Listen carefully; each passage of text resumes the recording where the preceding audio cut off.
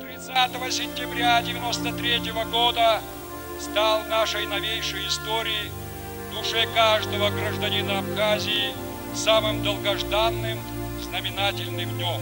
Это не только день освобождения нашей Родины, но и день победы. Более года, собрав в единый кулак все свои силы, мы делали все возможное и невозможное, чтобы увидеть этот день. И он пришел благодаря мужеству и героизму сынов и дочерей абхазского народа, всего многонационального народа Абхазии, благодаря мужеству и героизму наших братьев, сынов Северного Кавказа, Юга России и многих других. Да хранит Всевышний нашу прекрасную Родину! Arda Abda Absınra.